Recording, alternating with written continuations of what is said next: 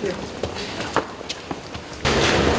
Ecco dalla Minerva ancora all'interno degli imballaggi specifici per opere d'arte che varca la soglia del Palazzo di Fraternita e torna dunque ad Arezzo. La statua, un bronzo etrusco ritrovato nel 1541 nella chiesa di San Lorenzo ad Arezzo, sarà la madrina simbolica del tanto atteso Museo dell'Oro, anche se guai a chiamarlo così. È un percorso espositivo, i tesori di Arezzo, che comprende ben 80 rarissimi esempi dell'arte orafa aretina. Percorso che è iniziato nel lontano 1900 1987 quando gli allora vertici della Camera di Commercio e di quello che si chiamava Centro Affari pensarono di dare uno stimolo e un approccio diverso a quello che era il nostro distretto Orafo che allora aveva oltre 2000 imprese, e verso un approccio, un percorso verso la qualità e verso l'eccellenza e sono stati appunto fatta questa contaminazione con il comparto della moda tanto da oggi avere ben oltre 300 pezzi eh, disegnati tra l'altro da importanti stilisti artisti, architetti nazionali e internazionali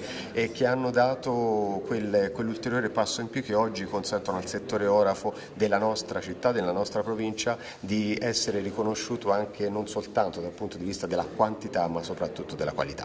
La Minerva Signum aprirà questo percorso e rimarrà nella nostra città, evento unico in assoluto, fino ad ottobre. È la dea dell'ingegno L'ingegno guida queste mani che trasformano l'oro in gioiello, che trasformano in passato l'argilla in ceramica, che trasformano il rame dei Monti Rognosi in bronzo. L'ingegno ci deve guidare, quindi il ritorno della Minerva è un ritorno verso un orizzonte futuro dominato dal capitale umano e dall'ingegno. Il genio sull'occhi del popolo di Arezzo è proprio l'ingegno. Quello che è importante è anche di vedere questo matrimonio tra la cultura, e l'industria e l'artigianato, le mani che lavorano. Questo connubio deve essere il nuovo orizzonte per la nostra città di Arezzo.